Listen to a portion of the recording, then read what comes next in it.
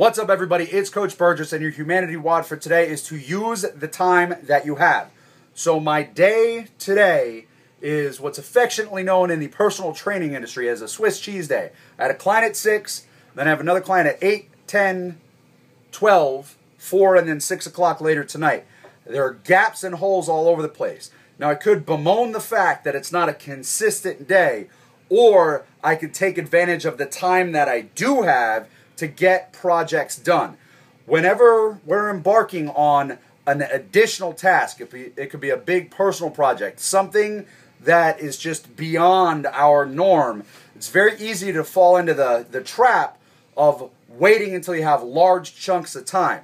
And what happens more often than not, we let life get in the way. Those big blocks, those big chunks of time never appear, so that project never even comes to fruition. What truly can help you succeed is tackling that thing in very small, digestible pieces, taking advantage of the time that you do have instead of whining about the time that you don't. So there's your humanity WOD for today and your challenge. Use the time that you have. And remember, if we take action, we can be the change we wish to see in the world.